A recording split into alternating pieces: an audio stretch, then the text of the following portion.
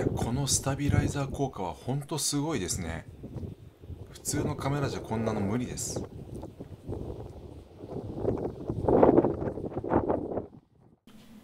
えー皆さんこんにちは。A1C ライダーでございます。いつもご視聴していただきありがとうございます。え今回はこちらのカメラですね。DJI Osmo Action 3そして4の比較動画を作りました。でなぜこの比較動画を作ったかというとあの3の方が値段がもう2万円台で購入できるんですね。で4が去年出たんですけどこちらももう4万円前半で購入できるようになりましたので3と4を見比べていただいて映像を見比べていただいて大して変わんねえなって思った場合は3でいいと思います。でやっぱり4の方がうんと綺麗だねって思ったんであれば4を買った方がいいと思います。センサーサイズが大きくなったんですね4は。あレンズもこれよく見るとこっちが3ですね。レンズのサイズもこっちが4いやちょっと大きくなってるんですよね合計が。あの GoPro と DJI もちもしくはインスタ360とかの比較動画は他の YouTuber さんが使ったの作ってくれてますのでぜひそちらを参考にしていただきたいと思います。私も D ん GoPro はつ使ってたんです昔。使ってたんですけどやっぱりその熱暴走というか止まっちゃうんですよね。なのでちょっともうやめてですね。今ですので GoPro は1台ももう持ってないです。全部この DJI で揃えてるんですけどただ最初にちょっとですねお話ししておきますとこちらのアクションカメラこのカメラはメインカメラにはならないと思います。まあ少なくても私はメインでこのカメラで何かを撮るということは絶対ないです。理由はまあ非常に簡単なんですけど映像の表現力の高さあとは信頼性については一眼レフの動画もしくはミラーレスの動画あとはビデオカメラにこちらが勝るということは絶対ないです。今まで私いろんな動画作ってきたんですけどもそうドラムの動画以外でいろんな動画作ってきたんですけどこれをメインで何かを作ったっていうことはないです、理由はもう非常に簡単ですね。あのーやっぱりセンサーサイズが全然違う。あとはそのエンジンも違う。何よりもレンズが違うですね。ミラーレスとか一眼レフとかビデオカメラっていうのはこういったアクションカメラのもう米粒みたいなセンサーにこういうレンズをつけたところでやはり大型のカメラにはかなうわけがない。んです。ですのでメモ帳代わりです。この私の中ではこのアクションカメラっていうのはもうあくまでもメモ帳代わりですね。もうさっと撮ってパッと撮って。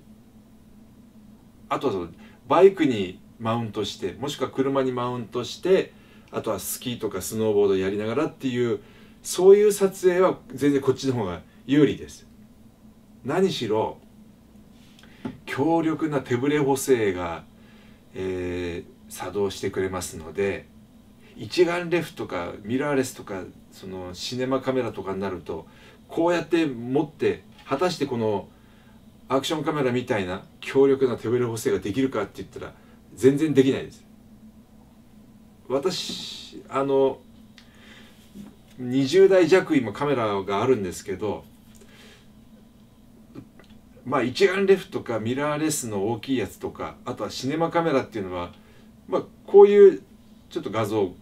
動画をご覧ください。こういうジンバルとかスタビライザーをつけて撮影しないとうまく映さうまく映んないっていうかまあ今からこの映像をお見せしますけどこういうアクションカメラみたいにすごい強力なね手ブレ補正がないですそういうの。しかも重いですから。だから大掛かりになっちゃうんです。だそうあんなの規定ですね。フライカムみたいなやつ持ってでやっぱ撮影ってなると目立っちゃうですよね。明っきり言って。あんな大掛かりでやったら。なのでこれはもうサクッとこういうやつにもうこれですね。これこれに私はよくつけてこうやるんですけど撮影するんですけどバッと撮ってそういうふうこういう撮り方ができますのでアクションカメラっていうのはあの非常にいいです。必ず私は持ち歩いてます。何かあった時すぐこれがね動画が撮影できるようにってことスマホよりもこっちの方がまあいいですよね。今のスマホは随分性能がいいですけど。ということで話を元に戻します。今からアクション3アクション4の映像をお見せします。それをぜひ見ていただいて皆様に決めていただきたい。どっちがいいか、えーそれでは撮影の方に行きたいと思います、現在手ブレ補正はオフの状態です、えーこちらの場所は福島県白河市の小峰城を使っております。画角はそうですね一えーっとフルサイズカメラのレンズでいうと 10mm から 11mm ぐらいですね。私が持ってる EF11 から 24F4 っていうレンズがあるんですけどおおむねこんな感じです。11mm だとこのぐらいの、画角になります。左側がアクション3右側がアクション4えーっとこれ石垣なんですけどこうやって見るとうーん4の方がナチュラルに映ってる感じです。3の方はちょっとビビット寄りというか絵作りがはっきりしてるかなあの色合いがはっきりしてるような感じですね。アクション4はナチュラルです。忠実に表現してると思います。で余談ですけどこの小峰城の石垣がですね2011年の東日本大震災の時にほぼ崩落してしまってあの復元にあたりまして全国のお城マニア石垣マニアのカメラマンさんに呼びかけをしました。写真を送ってほしいと。それで相当数の写真が集まってその写真をもとに崩落した石に一つずつ番号をつけてで全国からえーっと石工職人さんが集まって何年もかけてやっと復元できたと。そういう流れになってます、えーこの場をお借りしまして、えー写真を送ってくださった皆様石工職人の皆様御礼申し上げます。さてまた画像の方に戻りますけど光が十分当たっていれば相当綺麗です。あの大きい画面でも見たんですけどもうビデオカメラともう本当に変わりがないぐらいよく映ってくれてると思います。今のスマホとかも随分性能がいいので同じようには映るんですが次の映像ですね。次の映像からアクションカメラの本領発揮といったところです。まずはこ,、えーとこの画像なんですけどもこの動画なんですけどロックステディ。一番ジンバル効果が低いやつです。ロックステディロックステディプラス。で最後にホライゾンステディと3種類あるんですけどもうほぼ吸収されてますね。相当上下に揺らしながら歩いたんですけどでこれがすごいですね。ホライゾンステディまあ要はその水平を維持するという感じで下の動画をまず見てください。こんなにカメラを振ってるんですが上の動画はピタッと止まってます。なのでカメラの中で相当ジンバルが動いてるんだと思います。これはすごいですよね。この後にもまたこの左右に振ってる動画はご紹介したいと思います。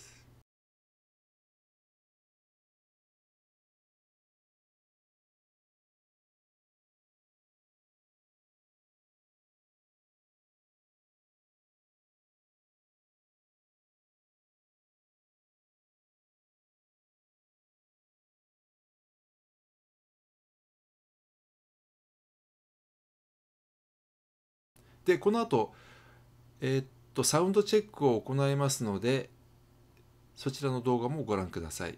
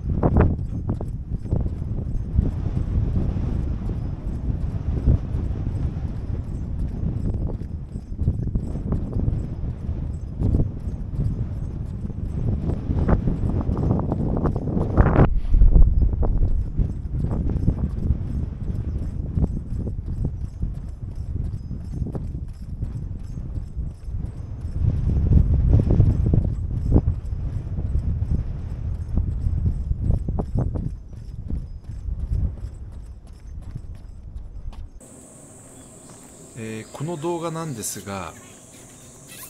あの3メートルのブームの先にカメラを取り付けて左右に揺らしながら撮影してみました、えースタビライザーはホライゾンステディです。ホライゾンステディでどのぐらい水平をキープできるかこれをやってみました。えブームが3メートル私の身長が183センチなのでまあ地上からでいうと約5メートルぐらいの高さになってると思います。下の動画をまずご覧になっていただきたいんですが相当左右に振ってます。しかし上の2つの動画は水平をキープしたままこのジンバル効果は相当すごいと思います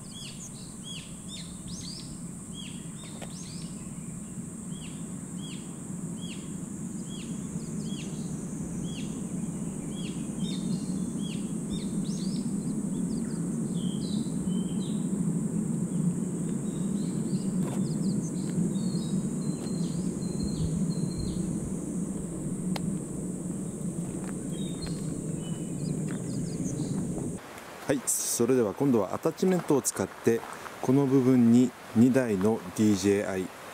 アクション3アクション4をつけてみました、えーこれで走ってみたいと思います。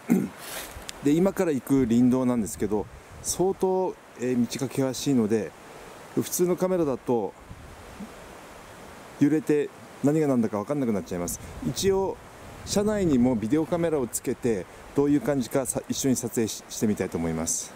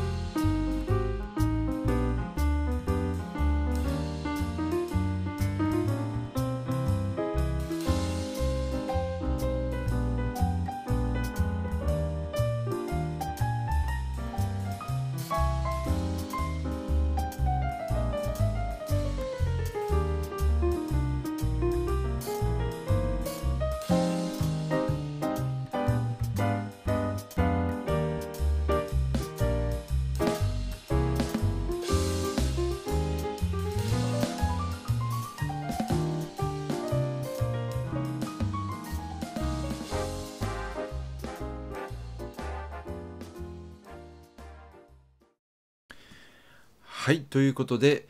いかがでしたでしょうか？あのーまあ私個人的な意見でお話ししますと正直3も4も昼間であればさほど変わらないと思います。えジンバル効果もほぼ同じ。え価格もほぼ一緒ですので2万円台で購入できるのであれば私は全然3でも問題ないと思います。え GoPro と比較した場合確かに GoPro は映りは良かったです。ただ結構トラブルが多かったのでうんまあそういう信頼性という意味も考えても、まあ、私はこちらのアクション3もしくはアクション4の方をお勧めしたいなと思います。まあコスパを考えても GoPro はまあ2倍ぐらいしますのでまあえっ、と3と GoPro えー12を比較した場合やっぱ倍以上の金額がしますので、まあ、コスパを考えてもアクション3これは非常に良いと思います。でアクション4の方についてはやはりセンサーサイズが大きくなった分夜間とか室内のうん撮影は3よりも全然いいんですがあの室内の撮影、まあ、正直この室内の撮影とか夜はもうアクションカメラではなくミラーレスかビデオカメラで、